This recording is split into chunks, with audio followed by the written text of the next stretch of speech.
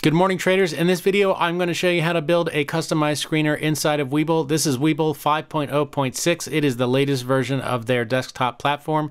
If you're not sure if you have the latest version, click over here on the little hexagon icon and then click this and it'll show you you either have the latest version or you need to update. The latest version is 5.0.6. If you haven't updated, you should do so because there are many improvements and glitch fixes in this latest version. So now that we have Webull open, we want to build the screener. We're going to click on the customized icon and then you're not going to have this. This is my custom screener that I use, and that's based off of my screener criteria, which is built into my day trading plan right here. You may not have a screener criteria. You may not even have a day trading plan, but this should help you either come up with one or have an idea of how to build one. So now I'm going to show you how to build this step by step. Yours will probably be blank at this point, so click on New Layout, and we're going to click Blank Layout this will automatically open the Add Widgets window, and I use the Quotes widget, which is found under the Quote tab. I just clicked on that. And then the Market tab will have our Top Gainer screener and the Most Active screener.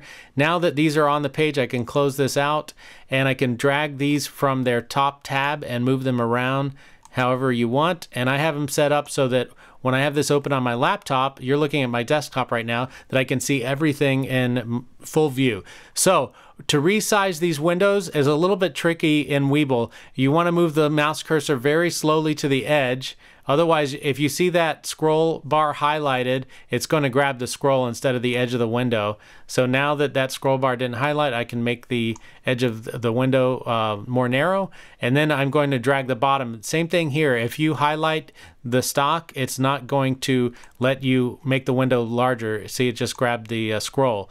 So I'm going to move the cursor up very slowly to the edge and I can see that I didn't highlight the stock and there we go. You can drag it down. There's only 20 stocks ever on the uh, top gainer screener. So you're going to see the top 20 top gainers by doing that.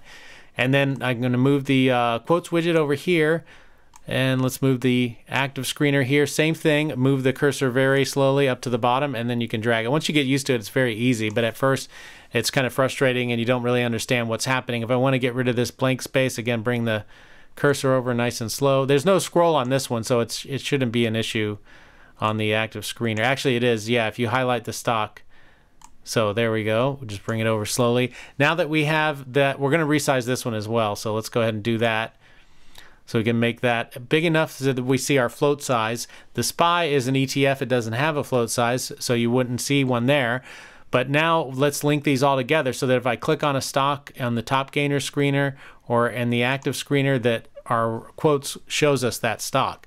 So the way you do that is by clicking on this little box up here with a horizontal line, set as group, pick whatever number you like. I'm going to pick number two. Make sure they're all set to the same number.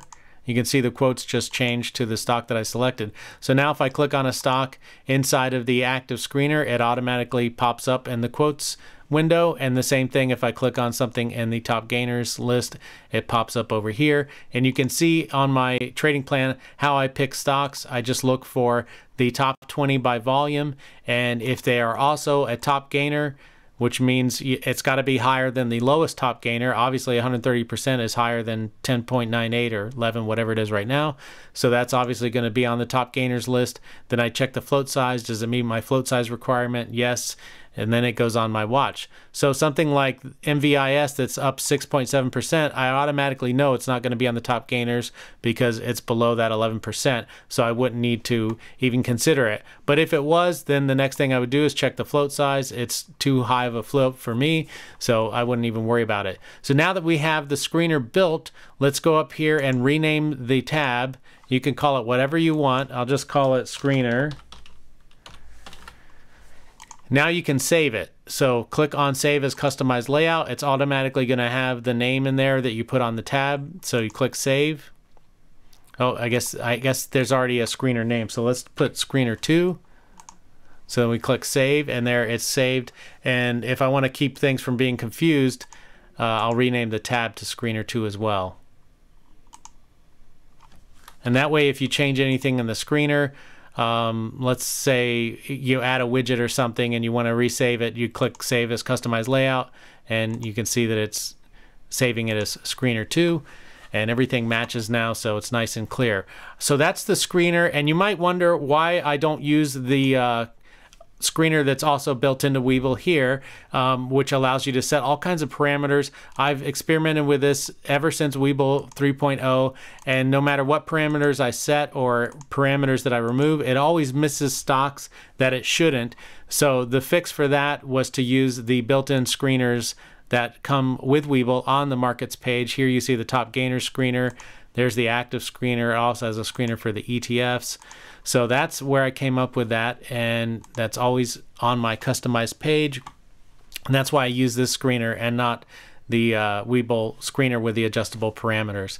So anyway, hopefully this video was helpful to you. Uh, if it was, please hit the like button. If you haven't subscribed, please do so. I'm going to be making a lot more how-to videos with Webull now that they have this 5.0 version out and quite a lot has changed. So let me know if you'd like to see anything specifically and I'll try to address it in the next video or two. All right, as always, no matter what screener criteria you use, no matter uh, what you're trading, you should always have a trading plan going into every trade. Follow it no matter what. Take your stop losses, honor your profit targets, and in the long run, you should be green. Take care.